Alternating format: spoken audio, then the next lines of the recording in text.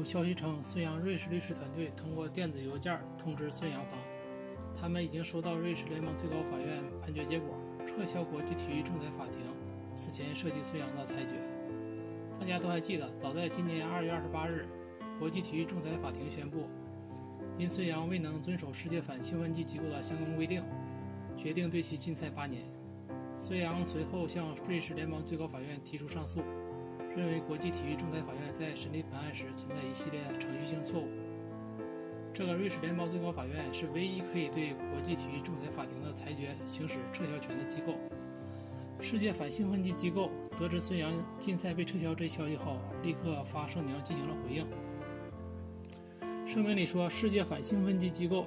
已获悉瑞士联邦最高法院决定支持中国游泳运动员孙杨的改判申请。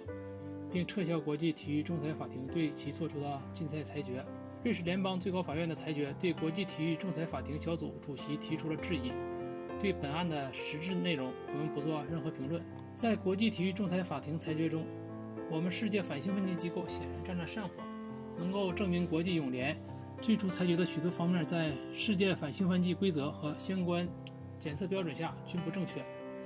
在案件回到我们世界反兴奋剂机构由其他主席。主持的仲裁小组时，我们世界反兴奋剂机构将继续陈述其立场。目前，世界反兴奋剂机构尚未收到法庭完整的裁决，因此无法进一步发表评论。这个是世界反兴奋剂机构发表的声明，已经很清楚地说明了自己的立场。是不是觉得和当初的世界反兴奋剂机构不像是一个机构了？那么，很多人会有疑问：孙杨到底是怎样翻案的呢？原因很令人吃惊。从《纽约时报》的报道来看，孙杨能推翻这一禁赛令，是因为当时裁定孙杨禁赛的三名国际体育仲裁法庭的法官中，身为主席的一名法官被孙杨的律师发现曾在社交网络上就中国发表过种族主义性质的言论。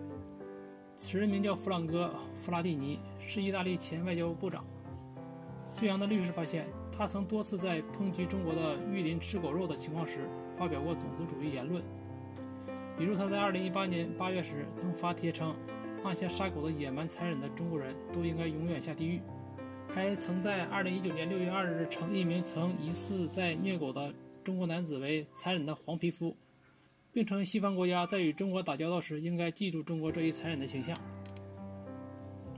这一情况最终令瑞士联邦最高法院裁定这名法官在中立性上存疑，并由此推翻了今年2月由他参与作出的对孙杨八年禁赛令。《纽约时报》还称，瑞士联邦最高法院的这一最新裁定意味着孙杨可以复出参加比赛了，而此前一直在针对孙杨的世界反兴奋剂机构则必须从头对孙杨在2018年9月的兴奋剂检测中所涉及的违规新闻提起诉讼。现在来看，孙杨可以复出了，结果是令人皆大欢喜的。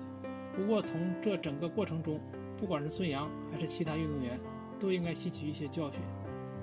尤其是那些成名较早的有实力的运动员，有的时候我们处理事情不必那么急躁，换个角度或态度，也许结果会更好。